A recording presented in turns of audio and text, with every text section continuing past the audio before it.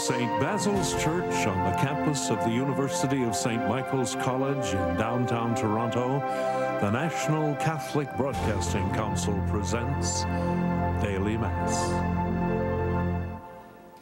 The televising of today's Mass is made possible by contributions from two donors. The first is J. Claire LePage from Windsor, Ontario, for the repose of the soul of his wife Vera, who died February 23, 1994. The second donors are Marie and Rose Gaudet and Charles Boudreau from Moncton, New Brunswick, for the deceased members of their families in thanksgiving for the daily Mass and for favours received. Our thanks to Mr. LePage in Windsor, Ontario, Marie and Rose Gaudet and Charles Boudreau in Moncton uh, for the gift of this Mass. In the name of the Father, and of the Son, and of the Holy Spirit. Amen. May the grace, the peace, and the love of God be with you all. With you. We come together to offer the Eucharist to remember that Jesus is really present, not just in bread and wine, but also in the readings and in each one of us. Let us renew our belief in that real presence of the risen Christ.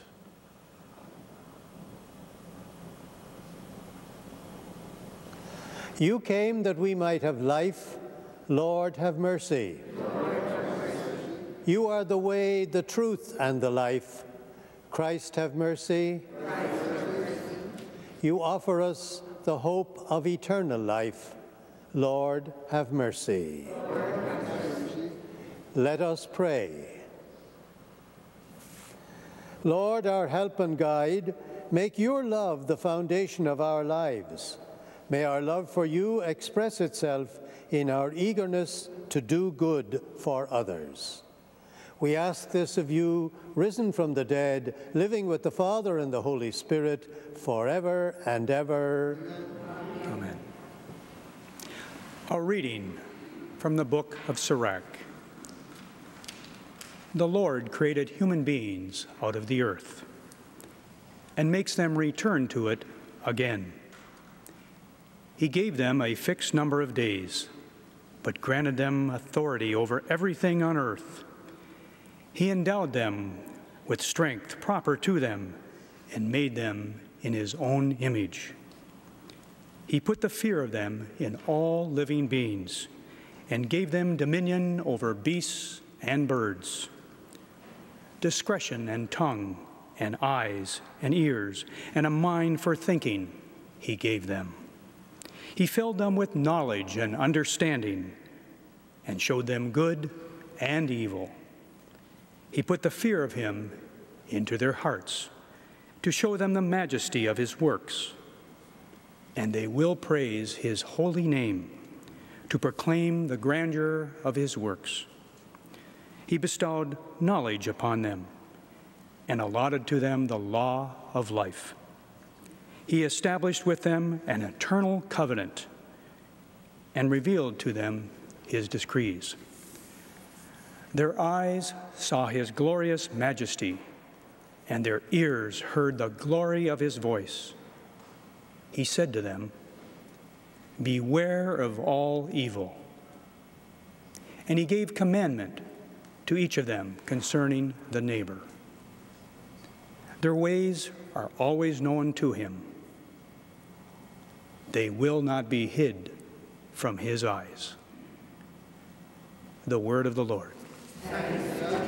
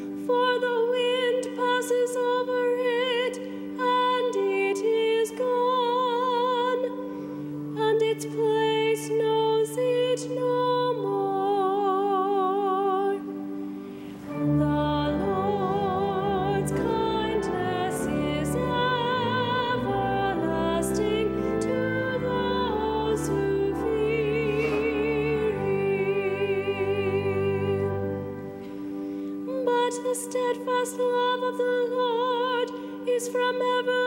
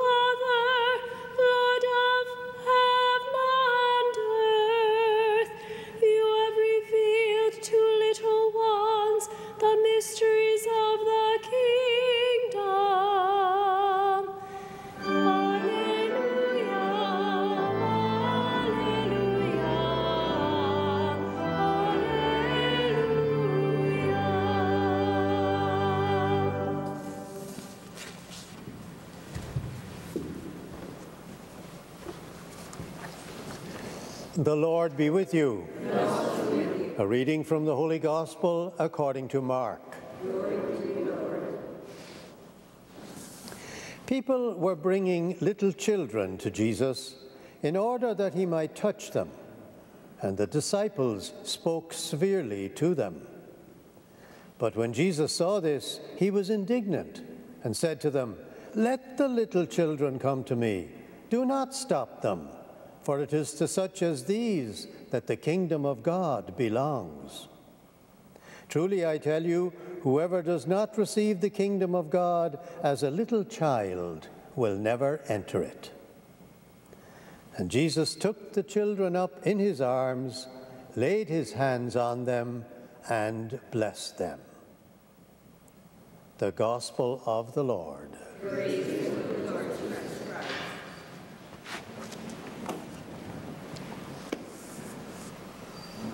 At Sunday Mass, I see the little children from kindergarten to grade three come forward for their special reading of the Gospel in the sacristy. Come forward is probably not the right words. Run would be a, a better word for some of them. Maybe even skip forward. And many hands go up when the priest asks, Who wants to carry the gospel book? They leave for their special session, and the rest of us, the grown ups, we begin Mass with the opening prayers and the three readings, and then we sit down for the homily, hoping maybe to hear something useful, maybe something new, not just more of the same.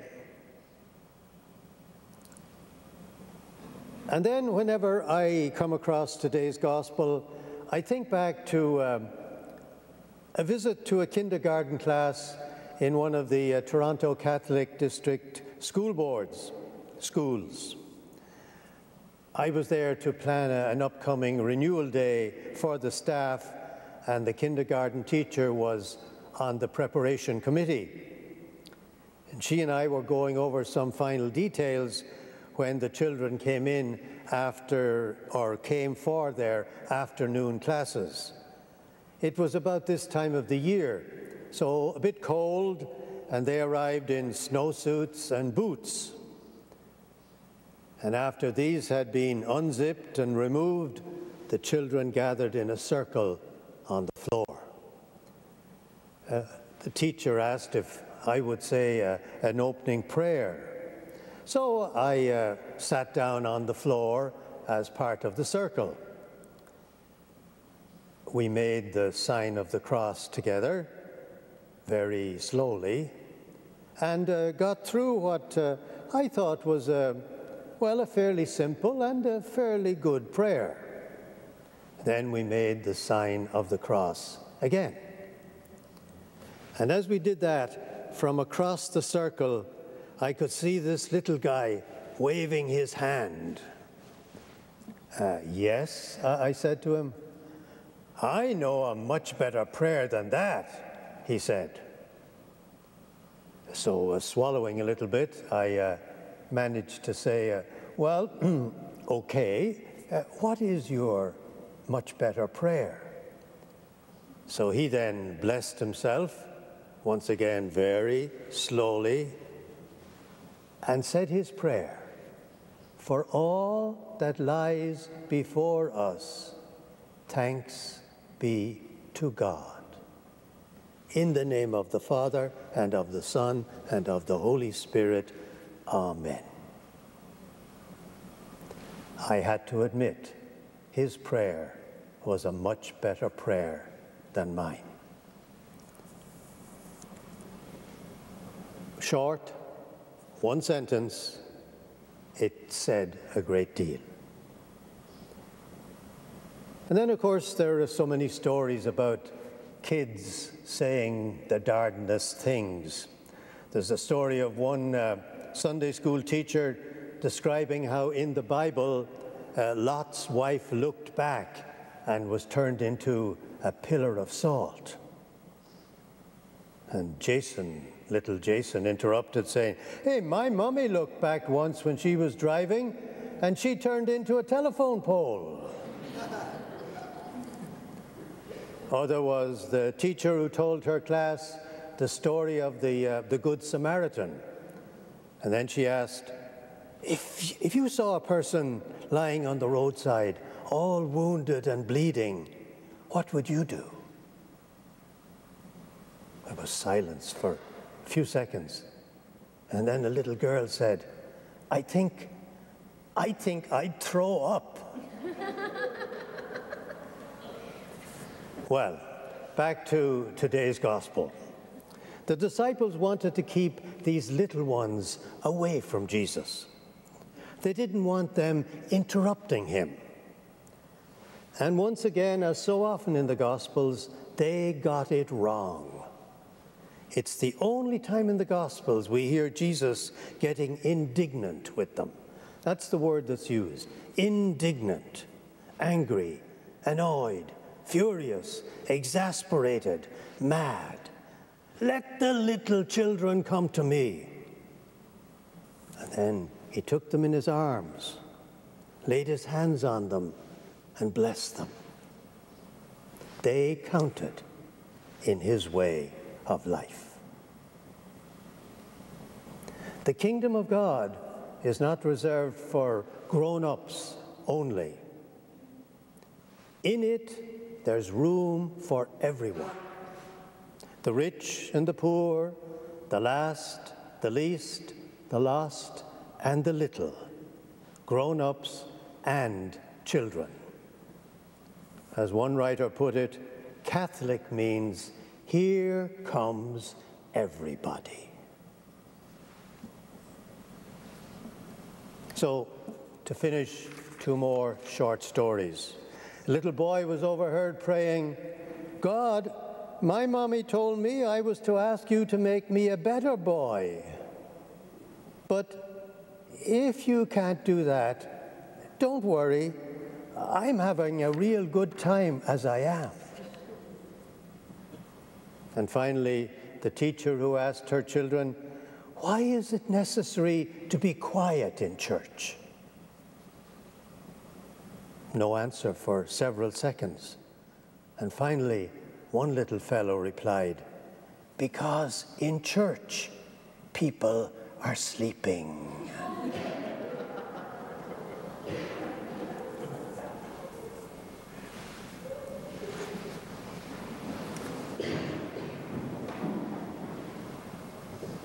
Out of the request for several intentions, let us pray for young people today that they may grow up knowing they are loved and wanted. We pray to the Lord. For those who are suffering with mental illness and for their families, we pray to the Lord. For parents, grade school teachers, and nursing home caregivers, we pray to the Lord. For the prayer requests we have received and for our own intentions. We pray to the Lord. Angels of God, guardians dear, to whom God's love commits them here, ever this day be at their side to light and guard, to rule and guide. Amen.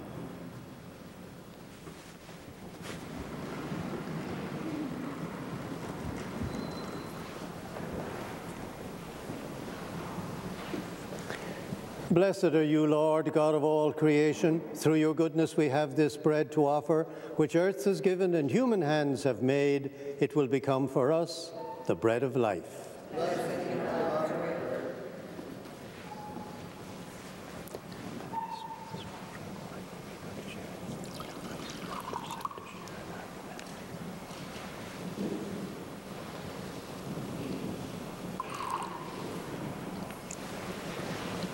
Blessed are you, Lord, God of all creation. Through your goodness we have this wine to offer, fruit of the vine, work of human hands. It will become our spiritual drink.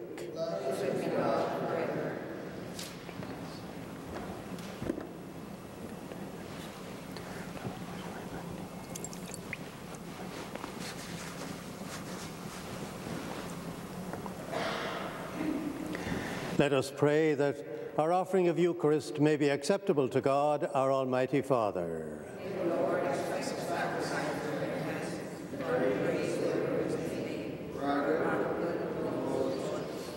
Lord, accept the prayers and gifts we offer in faith and love. May this Eucharist bring us to your glory through Christ our Lord. Amen. The Lord be with you. Lift up your hearts. Let us give thanks to the Lord our God.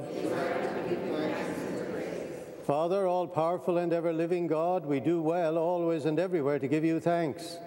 In love you created us, in justice you condemned us, but in mercy you redeemed us through Jesus Christ our Lord. Through him the angels and all the choirs of heaven worship in awe before your presence. May our voices be one with theirs as they sing with joy the hymn of your glory.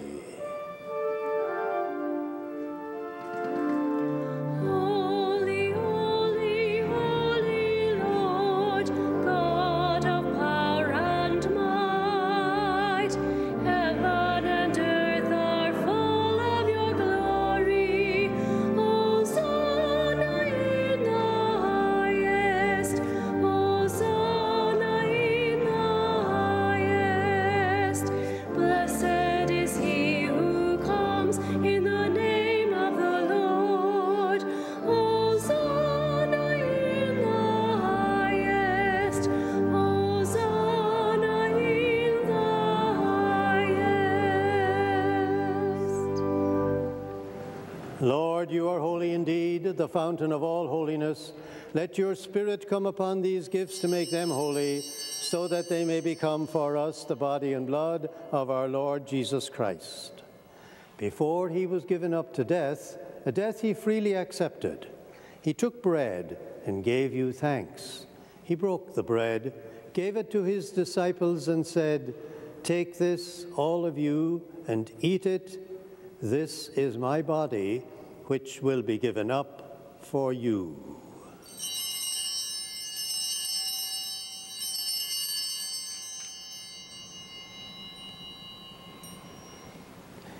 When supper was ended, he took the cup. Again, he gave you thanks and praise, gave the cup to his disciples, and said, Take this, all of you, and drink from it. This is the cup of my blood, the blood of the new and everlasting covenant It will be shed for you and for all so that sins may be forgiven. Do this in memory of me.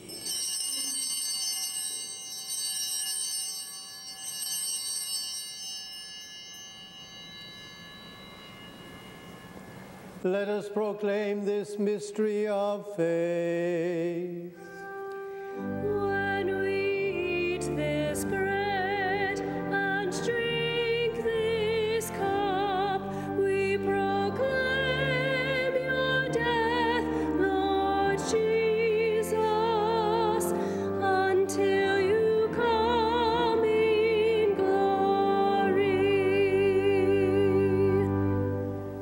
Memory of his life, death, and resurrection, we offer you, Father, this life giving bread, this saving cup. We thank you for counting us worthy to stand in your presence and serve you. May all of us who share in the body and blood of Christ be brought together in unity by the Holy Spirit. Lord, remember your church throughout the world. Make us grow in love, together with Benedict, our Pope, and all our bishops. Remember our brothers and sisters who have gone to their rest in the hope of rising again. Bring them and all the departed into the light of your presence. Have mercy on us all. Make us worthy to share eternal life with Mary, the Virgin Mother of God, with the apostles, and with all the saints who have done your will throughout the ages. May we praise you in union with them and give you glory through your Son, Jesus Christ. Through him, with him, in him, in the unity of the Holy Spirit, all glory and honor is yours, Almighty Father, forever and ever.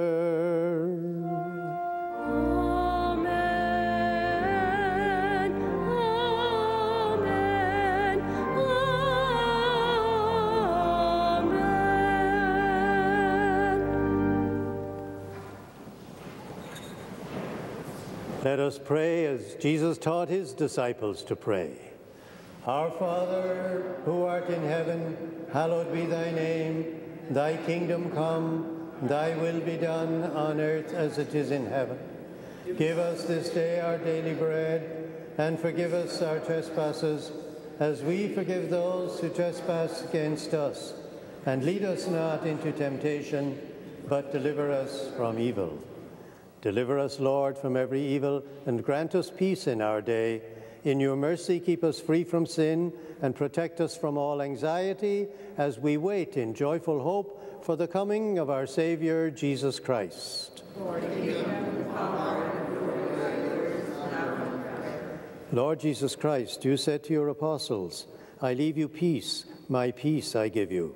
Look not on our sins, but on the faith of your church, and grant us the peace and unity of your kingdom, where you live forever and ever. Amen. May the peace of the Lord be with you always. Let us offer one another that peace of the Lord.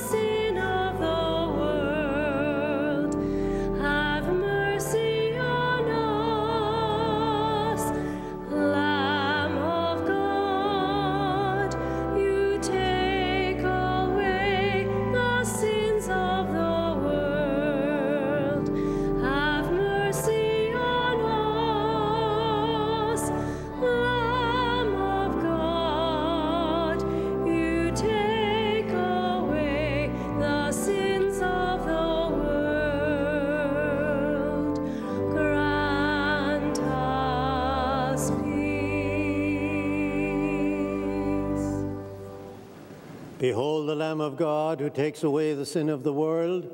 Blessed are those invited to communion with him. Lord, I am not worthy to receive you, but only say the word, and I shall be healed.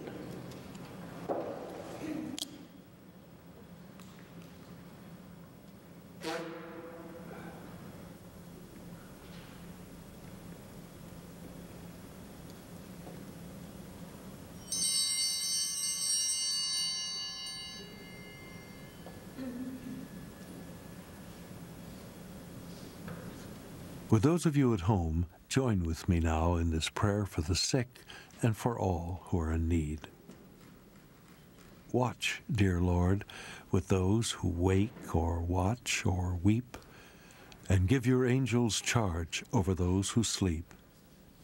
Tend the sick, rest the weary, bless the dying, soothe the suffering, pity the afflicted, shield the joyous. In your love, give us all this through Jesus Christ our Lord. Amen.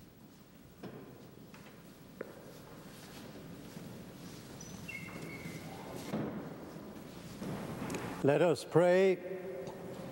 Almighty Father, may the body and blood of your Son give us a share in his life, for he is Lord forever and ever. Amen. The Lord be with you. May Almighty God bless you, the Father and the Son and the Holy Spirit. Amen. Let us go from this Mass in the peace of Christ. Our thanks to two donors. The first is J. Claire LePage from Windsor, Ontario. The second donors are Marie and Rose Gaudet and Charles Boudreau from Moncton, New Brunswick. And it's their generous contributions that made the televising of today's Mass possible. On behalf of Father Bush, Father Coots, Father Fitzpatrick, Father Donovan, Father Lynch, and all of us here at Daily Mass. Our best wishes for a restful weekend, and we'll be looking for you all again come Monday.